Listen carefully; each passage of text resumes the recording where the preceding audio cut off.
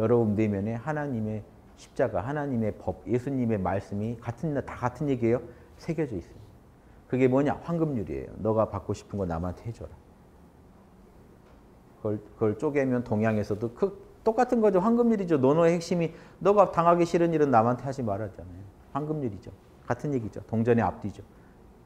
근데 그걸 지키기 위해서 동양의 선비들은 사랑, 정의, 예절, 지혜, 성실이라는 이누에지 신의 다섯 항목을 자기 내면에 딱 십자가로 새겨놓습니다. 그래서 율곡이나 태계나 마음을 그릴 때 딱 마음에다가 이누에지 신을 딱 십자가로 그려놔요.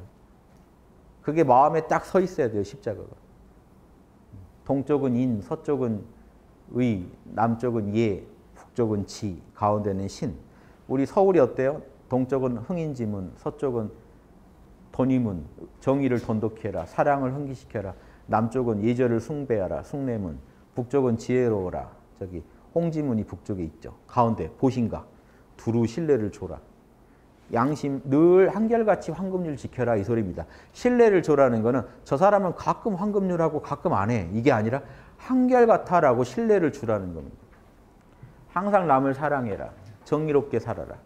남한테 그 항상 남을 겸손하게 대해라. 예절이라는 건 지혜는 항상 하나님 안에서 영적 식별 능력을 가지고 하나님의 뜻을 선택해서 선은 선과 악을 판단하라. 신, 이 모든 양심적인 덕목들이 한결같이 남한테 신뢰를 줄 정도로 한결같이 구현되게 하라. 이렇게 해서 이, 이 항목이 돌아갑니다. 여러분 마음에 딱 이 십자가가 서 있어야 돼요. 요게 표식이에요. 여러분의 표식. 하느님의 자녀라는 표식이에요. 이마, 이마나 손, 막, 이게 중요한 게 아니에요. 여러분 영혼의 표식이 새겨지는 거예요.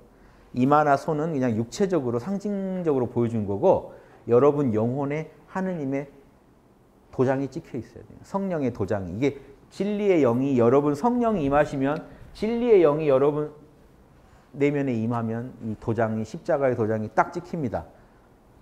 그 돼지 도장 딱 찍듯이 이거 딱 여러분 영혼에 하느님 사람하고 도장이 찍혀버려요.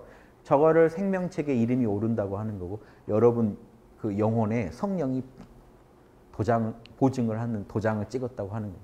이 사람은 하느님 자녀하고 도장을 찍어버려요. 그런 존재가 되시라. 666에 쫄지 마시고 난 도장 받았는데 666에 왜 쩝니까?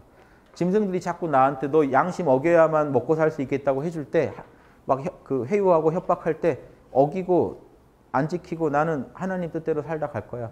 나 큰 욕심 없어. 하나님 뜻대로 그냥 살다 갈래. 하고 버티시는 게 올바른 인내와 믿음의 자세입니다. 하나님 믿고 인내하는 거죠. 이, 지금 이 세월들을. 여기서 성공보다는 걸 안달하지 않고 하나님 뜻대로 잘 살고 있는가만 보면서 살아가시는.